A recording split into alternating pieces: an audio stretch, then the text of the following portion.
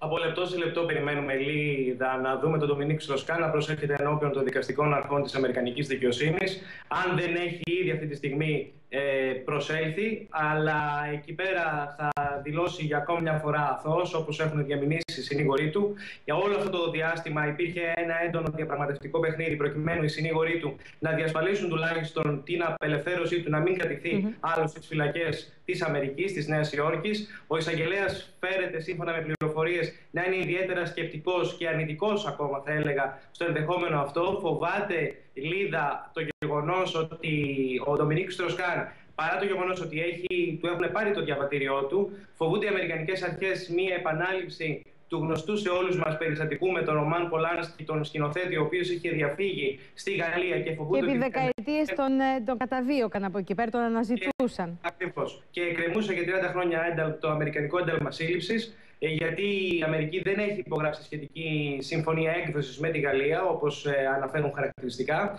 Αν, αν αφαιθεί πάντως ελεύθερος, αυτό θα γίνει υπό πολύ σκληρούς περιοριστικούς mm. όρους. Θα γίνει υπό την καταβολή ε, τουλάχιστον 2 εκατομμυρίων, όπως εικάζεται, δολαρίων ως εγγύηση. Θα και θα έχουμε και τα αποτελέσματα των ιατρικών εξετάσεων έως τότε, Θάνο.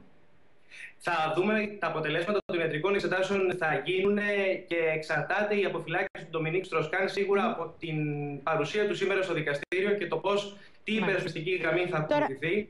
Οι συνήγοροι του έχουν λίδα ε, άσου στα χέρια τους, όπως τουλάχιστον ε, λένε οι πληροφορίες. Ένας από, αυτούς, ένας από αυτούς τους άσους είναι το γεγονός ότι έχουν μαρτυρικές καταθέσεις αλλά και στοιχεία υλικό που αποδεικνύει ότι την ώρα που έγινε η καταγγελία της 32χρονης Καμαριέρας ότι της επιτέθηκε σεξουαλικά ο ναι. κύριος Ντομινίκ Στροσκάν ο ίδιος ο διευθυντής του Delta Νιτάρ βρισκόταν με την κόρη του για φαγητό σε κεντρικό σημείο της Νέας Υόρκης και αμέσως μετά από εκεί μετέβη στο αεροδρόμιο για να, να χωρίσει για το Βερολίνο. Δεν συμπίπτουν ε, οι ώρες λοιπόν των καταγγελιών με τις μαρτυρίες ναι. που υπάρχουν. Τώρα το ενδιαφέρον πέρα από την υπόθεση αυτή καθ' αυτή, Θάνο, είναι το τι γίνεται και στο Διεθνές Νομισματικό Ταμείο, το οποίο μένει ακέφαλο αυτή τη στιγμή. Ποια είναι η επόμενη μέρα λοιπόν.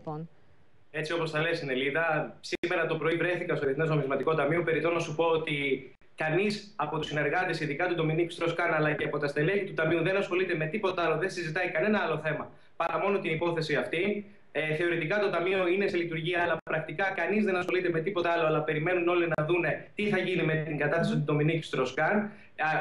Άνθρωποι του περιβάλλοντος του μου έλεγαν ότι είναι ο ίδιος στα όρια της αντοχής του όλο αυτό το διάστημα, όλα αυτά τα 24 ώρα που έχει περάσει στη φυλακή. Και Μάλιστα πρέπει να σου πω Λίδα ότι η επόμενη μέρα θα είναι ιδιαίτερα ε, αμφίβολη μια έντονη διαμάχη για το ποιος θα διαδεχθεί τον Ντομινίκ Στροσκάν. Με την Άγγελα Μέρκελ να σημειώσουμε, θα ότι ήδη σπέβδει να πει ότι θέλει Ευρωπαίο στο τιμόνι του Διεθνούς Νομισματικού Ταμείου. Πολύ σωστά. Αυτό είναι χαρακτηριστικό της διαμάχης που θα υπάρξει μεταξύ των υποψηφίων από τις ανα... από τις αναπτυσσόμενες χώρες και των υποψηφίων από τις ευρωπαϊκές χώρες και όλα αυτά μέσα στο πλαίσιο της ευρωπαϊκής κρίσης και της θέσης που θα λάβει το Διεθνές Νομισματικό Ταμείο στη μετάστροφη καν εποχή. Εάν έχουμε οτιδήποτε νεότερο, επιστρέφουμε στην Ουάσιγκτον